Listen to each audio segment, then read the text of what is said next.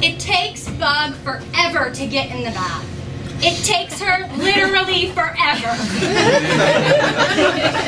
She's like, okay, but can we read a book first? Like, can we read this one book first before we get in? Okay, but what's mommy cooking for dinner? Can I just look and see what, what, I just want to get what mommy's cooking for dinner. And I'm like, babe, after we take a bath, then you'll get dinner. Then we can read a book. And she's like, oh, okay. so Bug's in the bath.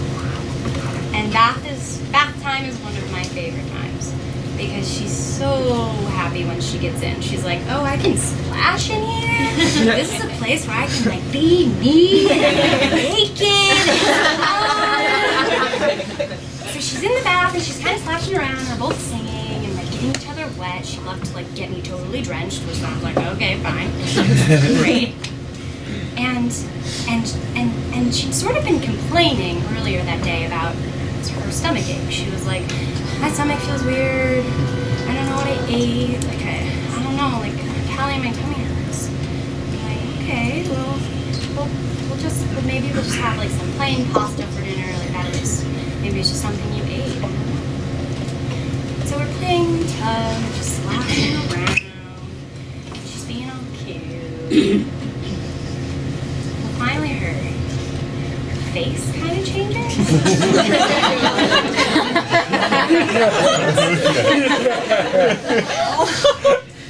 and and she sort of sits back and and she she's looking at me and it, it looks like she's about to cry and she's like, Hallie. like who?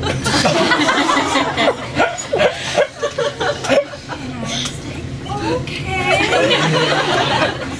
Okay, bud, it's okay. I'm gonna go get mommy. I'll be right back.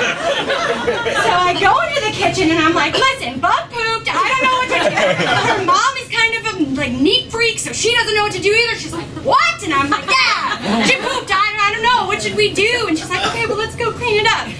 So we got in there, and luckily it was more of a sharp situation.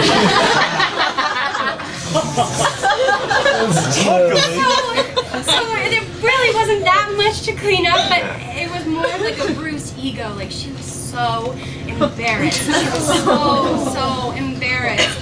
So I was just trying to feel about her, and I was, I was like, held her off, and I was like, it's okay. It, it happens to everyone.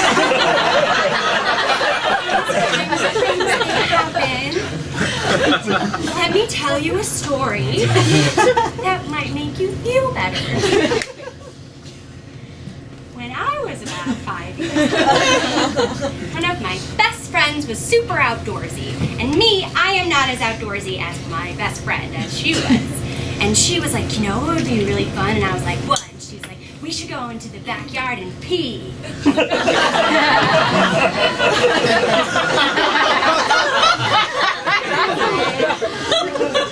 okay, yeah, cool. Let's go to the bathroom in the backyard. That doesn't make me feel uncomfortable. So we go into the backyard, and she's like acting all cool, and she's like squatting and peeing. But like, I realized that as soon as I was like, yeah, me too, yeah, I'm gonna, I'm gonna pee too.